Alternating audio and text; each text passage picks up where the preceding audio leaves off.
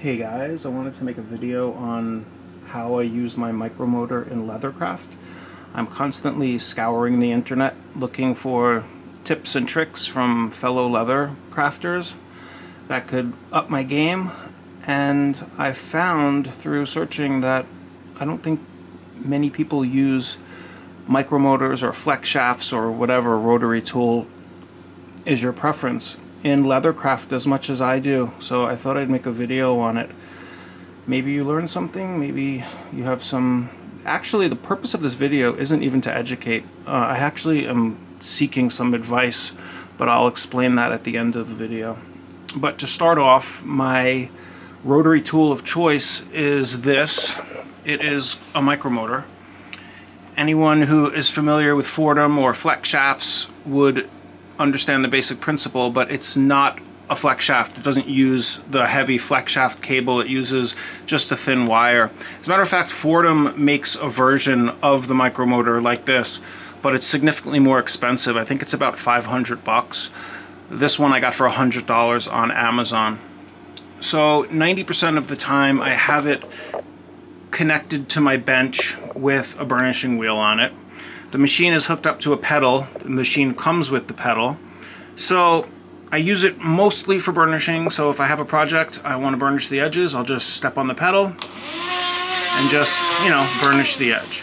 So just for that alone, I find the micromotor is incredibly useful.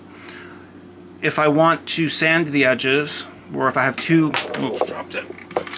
If I have two pieces of leather that are fused together and I want to make it seamless where you can't see the, the join, I'll put a sanding disc on here, sand the edges, and then burnish them, and it creates an invisible seam. So that's my micro micromotor, but I'm experimenting with a new use for it that I haven't seen anyone else um, use it for, so I wanted to make a video on that. The micromotor comes, here let me take the micromotor out to show you. The micromotor comes with additional hand pieces. For those of you that aren't familiar with micromotors, it's basically a motor connected to a light wire that you can use like a, like a pen. So it's much lighter than a traditional flex shaft or Dremel, which is what attracted me to this tool over, over the, the alternatives. But another benefit of these is that they have interchangeable tips. So the machine comes with these two tips here. They're both rotary tips. This one would be like a Dremel, and then this one is a right angle, a right angle um, tool. So you would put your bit in here. If you wanted to grind your edges, it's basically at a right angle. I use both of them, I'd say equally. But the reason for this video is I wanted to speak about this tip. This one you have to buy separately. The machine comes with these two but this one you buy separately. It's a reciprocating handpiece, so instead of spinning, it will go in and out. And the reason why I got this is because I want to start getting into leather tooling. But because I have a background in illustration, I wanted to find a setup where I could tool leather that would feel more like drawing as opposed to hammering. So that's why I got this. And it seems, I just started experimenting with it, but it seems like it might work. Again, I don't have any background in leather tooling per se, so I'm not quite sure the best way to approach this. So I made two tips so far. This one, I don't know if you can see it, but it's just a round, polished, blunt tip. So to give you an idea how it would work, let me show you.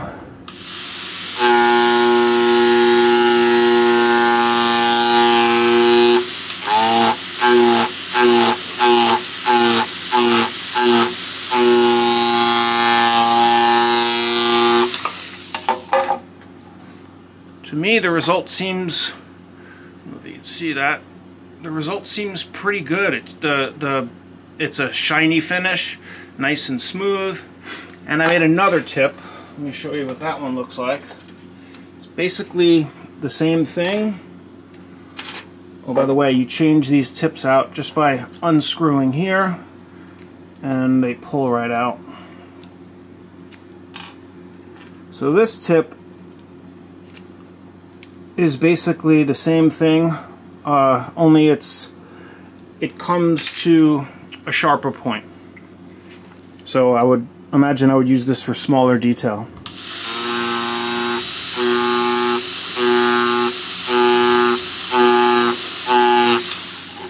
So that's the result from that tip. Um, another thing that I that I noticed just by I mean I've only been playing with this for like 10 minutes is that it could also be used for shading so I'm to draw a quick circle here and then if you just do it lighter you can get a shaded effect on there. So the reason why I'm making this video is I'm kind of hoping for some feedback from the community in terms of I'm not really sure what shaped tips I'm supposed to be um, putting on here.